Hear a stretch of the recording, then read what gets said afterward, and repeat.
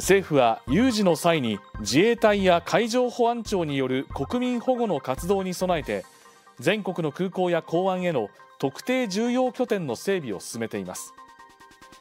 県内では高知新港を含む高知港、須崎港、宿毛湾港が特定利用港湾の候補に上がっており去年10月から国が県や港がある3つの市に対して説明を行ってきました。これを受けて県は今月3つの港湾の指定を港湾管理者として受け入れる方針を示しています。今日行われた意見交換会の中で県はあくまで民生利用が優先で今回の指定によって自衛隊や海上保安庁が港湾の利用を円滑にするためのものであること。またこの枠組みが新たに自衛隊の基地や駐屯地を設置するものには当たらずアメリカの軍隊はこの枠組みに入らないと説明しました。その上でインフラの整備がスムーズに進むことや自衛隊などが訓練を通して港湾を熟知することで大規模災害時の活動を効率的に行えるなどメリットを紹介しました。一方で自治体からはまあ、今日までの間ですね、まあ、あの半年足らずの期間でございます、まあ、今月末までに決定することに関しまして、えー、市民への周知期間も含め拙速ではないかというご意見を承っております。まあ、一部の方に不安の声というのがどうしてもあるというのもあの共通認識のところだと思います、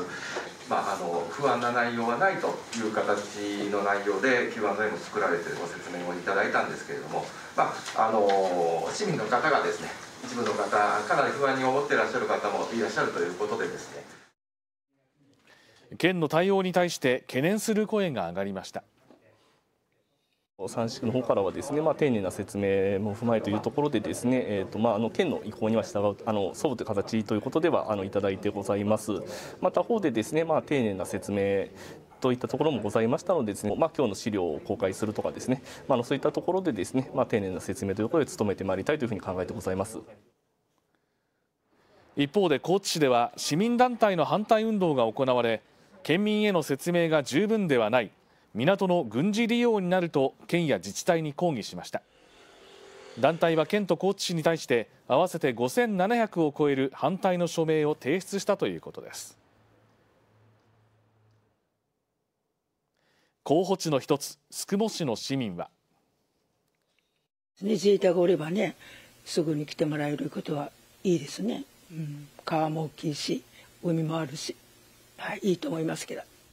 がとても複雑ですけど、まあ、この綺麗な港を軍事基地っていうような方向になるんではなくてやっぱりこの美しい自然と子供っていう感じで将来残していきたいと思います。